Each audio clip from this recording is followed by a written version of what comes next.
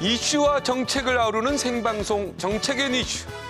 공무원 연금 개혁 대타협 기구가 아무런 결론을 내지 못한 채 지난 28일 종료됐습니다. 공무원 연금 개혁이 지연될 경우에 매일요 80억 원이라는 보존금이 국민 열세로 투입되어야 하는 상황입니다. 때문에 공무원 연금 개혁은요 성공적으로 이루어져야 합니다. 국가 재정의 시한 폭탄으로도 불리는 공무원 연금 문제.